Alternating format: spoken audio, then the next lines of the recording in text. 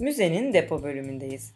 Endüstriyel ilerlemenin ve teknolojinin 1913'te Ludwig Holbein tarafından yapılmış sembolik ifadesine bakmaktayız. Kendisi Münih'teydi ve plakastil olarak bilinen hareketin ortasındaydı. Bu akım reklamı yapılan ürünü, renkleri ve görseli ekonomik olarak kullanarak tanıtmayı öngörüyordu.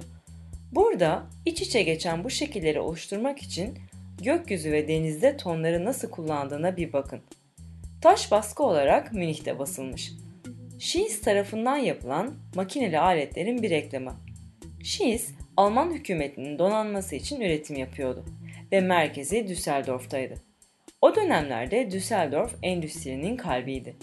Bu resimde sanatçı arka planda gizemli bir denizaltına odaklanmış.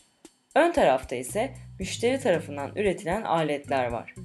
En basit görsel malzeme ile sanatçı gökyüzünü ve denizi birleştirip bakan kişiye inovasyon hissini geçirebilmiş.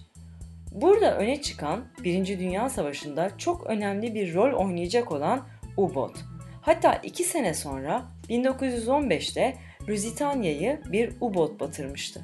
Bu da Amerika Birleşik Devletleri'nin Birinci Dünya Savaşı'na girmesine neden olmuştu.